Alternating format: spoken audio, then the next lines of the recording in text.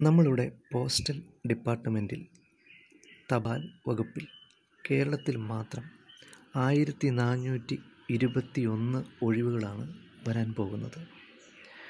കേരളത്തിൽ ബ്രാഞ്ച് ഒഴിവുകളുടെ ഒരു രീതി എന്ന് പറയുന്നത് ബ്രാഞ്ച് പോസ്റ്റ് മാസ്റ്റർ അതുപോലെ assistant branch post master Dak Sevak തസ്തിക ഇങ്ങനെ മൂന്ന് വിഭാഗത്തിലായിട്ടാണ് ആയിരത്തി നാനൂറ്റി ഇരുപത്തി ഒന്ന് ഒഴിവുകൾ വരുന്നത്.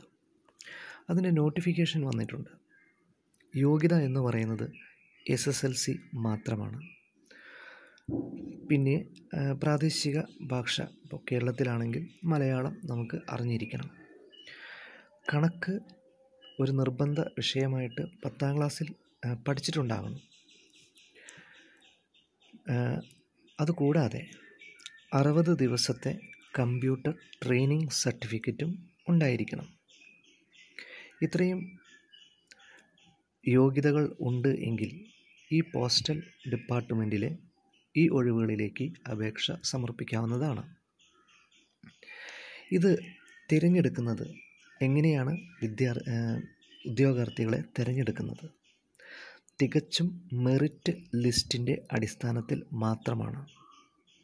എസ് എസ് എൽ സി പരീക്ഷയിൽ ലഭിച്ച മാർക്കിനെ ബേസ് ചെയ്ത് ഓട്ടോമാറ്റിക് ജനറേറ്റഡ് മെറിറ്റ് ലിസ്റ്റ് അതായത് നമ്മൾ കൊടുക്കുന്ന രേഖകളുടെ അടിസ്ഥാനത്തിൽ നമ്മളുടെ മാർക്കിന്റെ അടിസ്ഥാനത്തിൽ നമ്മളുടെ സംവരണങ്ങളുടെ അടിസ്ഥാനത്തിൽ കമ്പ്യൂട്ടർ ഓട്ടോമാറ്റിക്കായി ജനറേറ്റ് ചെയ്യുന്ന ഒരു മെറിറ്റ് ലിസ്റ്റ് ഒരു എൻട്രൻസ് എക്സാമിനേഷൻ പോലെ അല്ലെങ്കിൽ ഒരു മത്സര പരീക്ഷ പോലെ ഒന്നുമില്ലാതെ ഓട്ടോമാറ്റിക്കായിട്ടുള്ള ഒരു മെറിറ്റ് ലിസ്റ്റിന്റെ അടിസ്ഥാനത്തിൽ അർഹതയുള്ള വിദ്യാർത്ഥികളെയാണ് തിരഞ്ഞെടുക്കുക. പ്രായം പതിനെട്ടിനും നാൽപ്പതിനും ഇടയിലുള്ള പ്രായം. അത് എട്ട് മൂന്ന് രണ്ടായിരത്തി ഇരുപത്തി ഒന്നിനെ ബേസ് ചെയ്തിട്ടാണ് പ്രായം കാൽക്കുലേറ്റ് ചെയ്യുന്നത്.